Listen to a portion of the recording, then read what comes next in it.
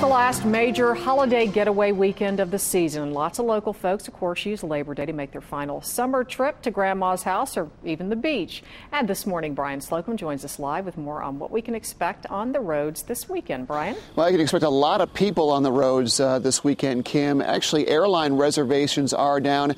Uh, most of the southeast travelers are hitting the roads are willing to take, on average, at least a 50 mile journey, and many are willing to hit the roadways for as long as five hours. Of course, the popular destinations this weekend will be the beaches, the mountains, some going as far as the nation's capital. But no matter where you're going, make sure when you're packing up to check and make sure your registration and your insurance card are up to date. Of course, your driver's license is probably a good thing to have on hand in case you're pulled over.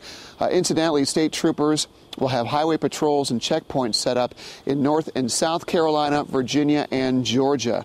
There is some good news. Uh, prices at the pump have been falling. The average of a price uh, for a gallon of unleaded across the state is $2.51 a gallon. Here in the Triad, it's 2.48, down 4 cents from last week.